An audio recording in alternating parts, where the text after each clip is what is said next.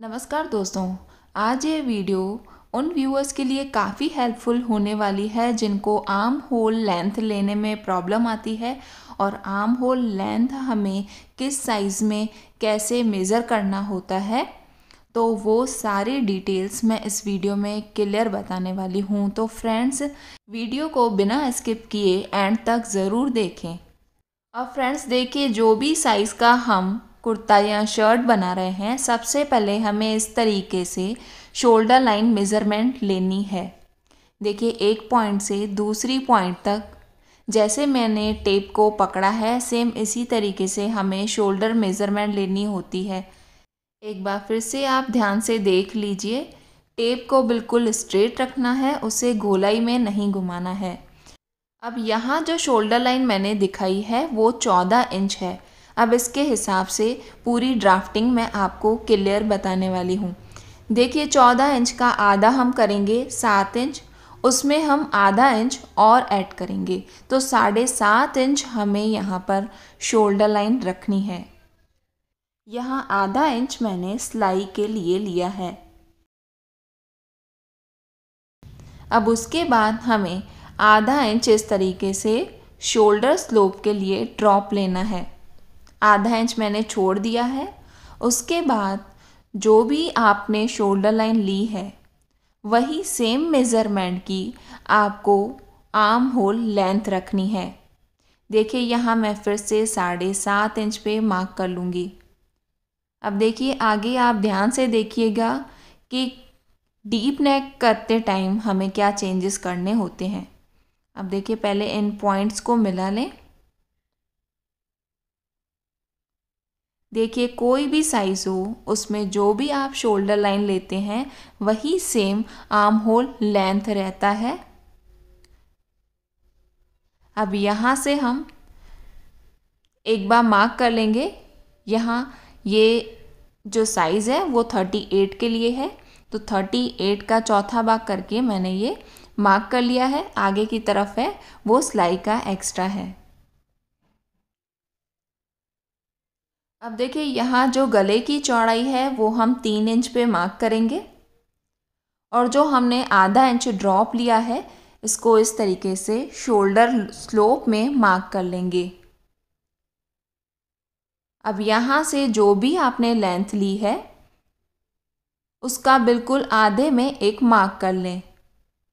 अब देखिए, इन दोनों मार्क्स को मिलाकर हमें आर्म होल का शेप देना है। इस तरीके से हम गोलाई वाला शेप दे देंगे।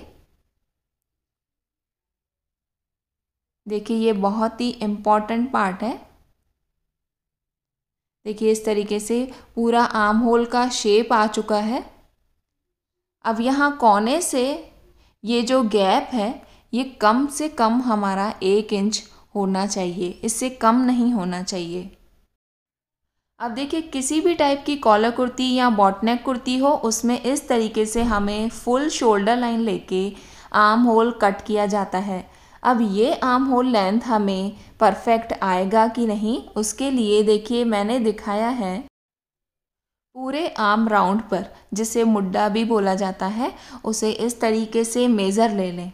देखिए, पूरे टेप को मैंने अंदर से घुमाते हुए मेज़रमेंट ली है। यहाँ सोलह इंच आ रहा है। अब इसमें हम करीब एक से सवा इंच लूजिंग देंगे। तो हमें जो आर्म होल की लेंथ चाहिए, वो परफेक्ट हमारी सत्रह से सवा सत्रह इंच तक होनी चाहिए। अब देखिए, जो हमने ये पूरा मार्क किया है, उसे इस तरीके से मेज़रमेंट लेंगे। तो ये हमारा करीब सवा सत्रह इंच के पास आ रहा है। तो ये एकदम हमें परफेक्ट बैठेगा।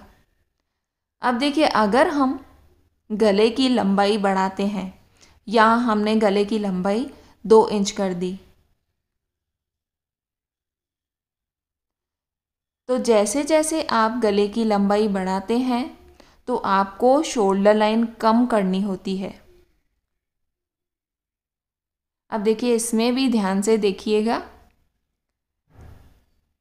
अब दो इंच बढ़ाने पर यहाँ शोल्डर लाइन हमें चौथाई इंच कम करनी है। चौथा इंच कम करने के बाद यहाँ जैसे मैं दिखा रही हूँ सेम इसी तरीके से हमें फिर से साढ़े सात इंच पे मार्क करना है। आप देखेंगे जो चेस्ट लाइन है, वो हमारी करीब दो लाइंस ऊपर शिफ्ट हो गई है। देखिए, अब इन लाइंस को मैं एक बार मिला के आपको दिखा देती हूँ। देखिए, मैंने यहाँ अलग मार्कर यूज़ किया है, जैसे आप क्लियरली समझ पाएँ। देखिए चेस्ट लाइन की जो मेज़रमेंट है, वो सेम रहेगी। अब जो हमने दूसरी ब्लू कलर से मार्किंग की है, वहाँ उस लाइन पर सेम आधे पे एक मार्क कर लें और यहाँ फिर से आर्म होल का शेप दे दें।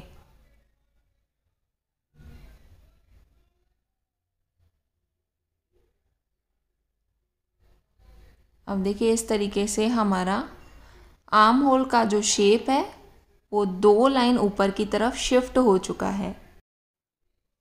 अब इसको हम एक बार फिर से मेज़र करेंगे। जो हमारा आर्म राउंड का मेज़रमेंट है, वो सेम ही रहना चाहिए, जो हमने करीब सवा सत्रह, यानि पौने नौ इंच तक हमने इस तरीके से मार्क किया था। वो सेम ही रहना चाहिए। अब देखिए एक पॉइंट और है, जो मैं आपको आगे क्लियर बताने वाली हूँ। देखिए, यहाँ पर अब हम तीन इंच लंबा नेक रख रहे हैं। ठीक है, तीन इंच पे हम इस तरीके से मार्क कर लेंगे। यहाँ भी मैंने अलग कलर यूज़ किया है ग्रीन कलर तो आप इसे भी आसानी से समझ पाएँगे। देखिए, तीन इंच पे फिर से हम इसके बाद फिर से चौथाई इंच कम करेंगे। मतलब टोटल आधा इंच अब कम होगा। अब यहाँ हम फिर से साढ़े सात पे मार्क करेंगे। तो जो चेस्ट लाइन है वो करीब सेम ही रहेगी या एक लाइन ऊपर शिफ्ट होगी। देखिए, ये एक लाइन ऊपर की तरफ़ शिफ्ट हो रही है चेस्ट लाइन। अब इस जो ग्रीन मार्किंग है, वहाँ पर सेम हम इसी तरीके से आम राउंड बनाएँगे। देखिए सेम हम यहाँ आधे पर एक मार्क करके और यहाँ पर आम होल का फिर से शेप देंगे।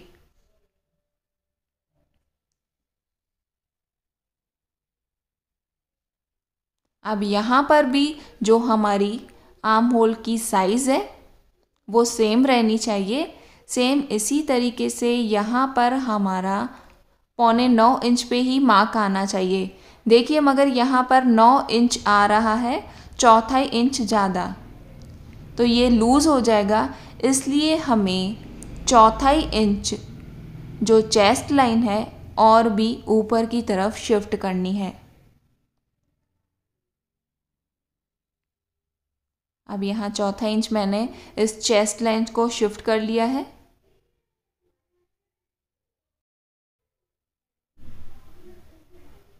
अब देखिए, यहाँ पर हम फिर से आर्म होल के लिए मार्किंग करेंगे। सेम वही प्रोसेस रहेगा। आधे पर हमें मार्क करना है और यहाँ आर्म होल का शेप देना है। देखिए, ये वाली हमें लाइन कैंसिल करनी है।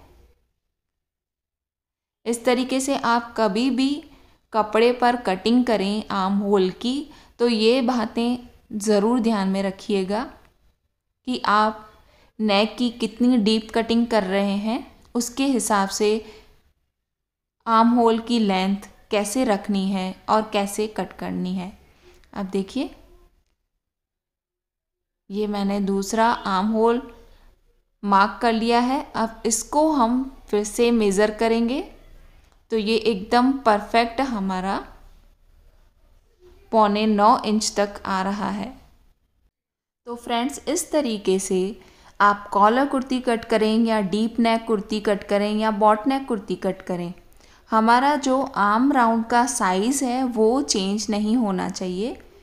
जो भी परफेक्ट मेज़रमेंट है, उस हिसाब से हमें चेस्ट लाइन को ऊपर नीचे शिफ्ट करना होता है।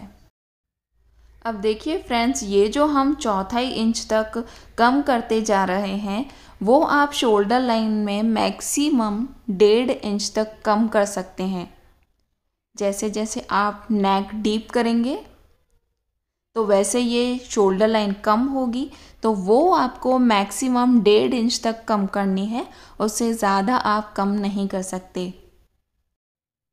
इस तरह आर्म होल की जो साइज़ है, वो हमेशा सेम रहनी चाहिए। अगर आर्म होल का साइज़ बड़ा हो रहा है तो आपको चेस्ट लाइन ऊपर की तरफ़ शिफ्ट करनी है। अगर छोटा हो रहा है तो चेस्ट लाइन नीचे की तरफ़ शिफ्ट करनी है। देखिए, यहाँ पर हम सात इंच डीप नेक तक डेढ़ इंच शोल्डर लाइन कम कर सकते हैं। अगर आप सात इंच से ज़्यादा डीप रख रहे हैं तो जो सात इंच वाली मेज़रमेंट है, वही सेम मेज़रमेंट आगे की तरफ़ रहेगी। फ्रेंड्स ये जो मैंने पूरी मार्किंग बताई है, ये बैक पैनल के लिए है। फ्रंट में फ्रंट आर्म होल की कटिंग अलग से होती है। हमें पहले इस तरीके से जो बैक पैनल का साइज़ है, वो परफेक्ट रख कर और कट करना है। फ्रेंड्स जैसे मैंने दिखाया है सेम इसी तरीके से मेज़रमेंट लेके आप किसी भी साइज़ के लिए एक परफेक्ट आर्म होल कट कर सकते हैं। फ्रेंड्स अगर आपको ये वीडियो यूज़फुल लगा हो तो लाइक और कमेंट ज़रूर करिएगा। Thank you watching for this video